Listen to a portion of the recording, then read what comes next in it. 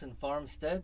Um, it's a historic uh, uh, little park inside of Mesquite.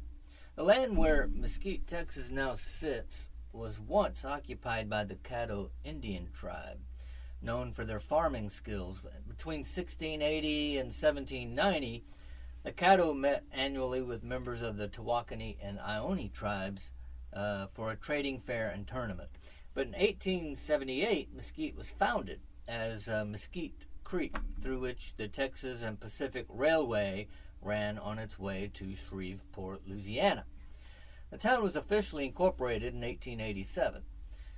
In 1878, shortly after the railway was opened, prominent outlaw Sam Bass robbed a train and stole $30,000.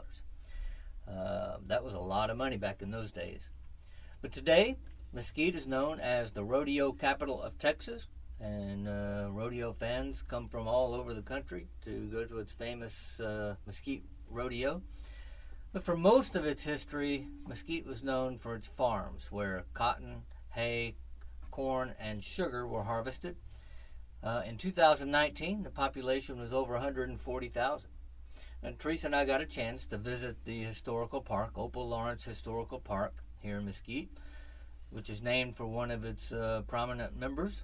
But we took pictures this week instead of videos Yeah. because it was a live tour and they're sketchy about you recording them.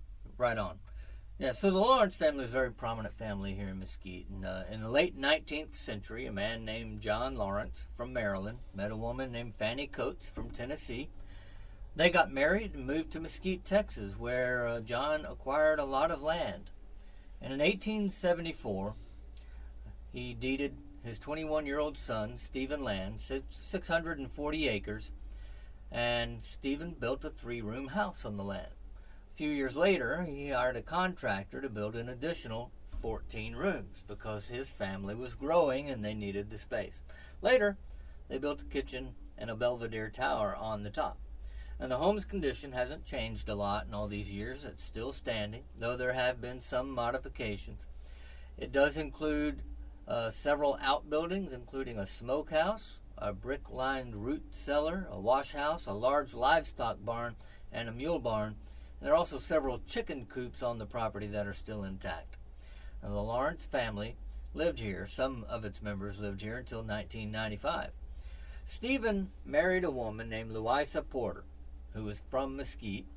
In 1878, in the same year that Sam Bass uh, robbed the train here in Mesquite, a very famous robbery. They had three children, but Louisa died before her kitchen could be built. She had requested the kitchen, but never got to use it. One of their sons, a man named John, I believe, uh, served as mayor of Mesquite three different times. So this was a, a prominent family in the area. Stephen himself had a thing for women named Louisa because after his first wife died, he married a second woman named Louisa Walker from Missouri. They had five daughters um, Ruby, Pearl, Opal, Garnet, and Onyx. And if you recognize those names, you know those are gemstones. Their three sons had more ordinary names Eddie, Hugh, and Hill. I don't know why they didn't name Eddie and Hugh after terrain features. They could have been called Lake and Depression. Okay, now seriously, Just having fun. Steve served, Stephen served on the committee to establish Mesquite ISD and was also active in raising funds to start the first school here in Mesquite. Three of the daughters, Opal, Onyx, and Garnet, lived on the family farm their whole lives. They raised cattle and hens, and in fact, they had a pretty good slate of customers for their eggs for many, many years, well into the 20th century. Two of the girls, Opal and Garnet, never married. Onyx married a man named Fowler Summers, and he lived on the farm with the three sisters. But he died in 1981, and Garnet followed a few days later. Opal and Onyx stayed on the farm until 1995 when they both died. Opal's will bequeathed the property to the city of Mesquite along with two acres of land. The city purchased another 11 acres that also included the horse barn and the other outbuildings. and that property today is this historic park. Uh, the interior of the house is quite beautiful, as you can see from the pictures. It includes a lot of the original furniture that Opal and Onyx owned while they were alive. The farm also includes a cabin, which was built in 1845. Uh, it's one of the oldest buildings in eastern Dallas County. The cabin was not on this property originally. It was purchased by a resident of Sunnyvale, another nearby city, uh, and moved here later after the Lawrences died. Another building on the property is the New Hope Baptist Church building, which is being restored, and the plans are to use it someday for weddings and other activities uh, such as that. Mesquite is typically considered today a suburb of Dallas, though it is its own separate incorporated city. It, uh, I, guess you can call it a suburb. It, it, it, butts up against Dallas. The city limits run together. And uh, in many ways, uh, you're leaving Mesquite, entering Dallas, it's hardly noticeable and, uh, uh, unless you see the sign. Uh, same way going back the other direction.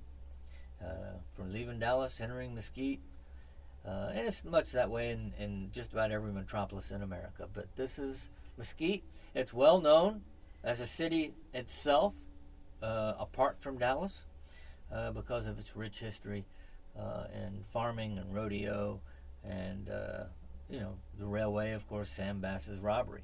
So, anyways, other than other than the noise of traffic around this park, though, when you're standing on this park you could be in in the actual country and and not even realize you're in the city. Yeah, the park the park is well preserved. The buildings are well preserved. I was actually pretty uh, impressed with how well preserved all of the buildings are. Uh, the main house is well deserved, well preserved. The cabin that sits on the house is well preserved all of the outbuildings. The livestock barn was pretty impressive. Yeah, um, that one, uh, the livestock barn, I don't think has had as much work done on it as the rest, although it is very well preserved. Um, I know that they have worked quite a lot on the wash house and the curing shed, and they have plans to actually open up that root cellar to to the public at a later date.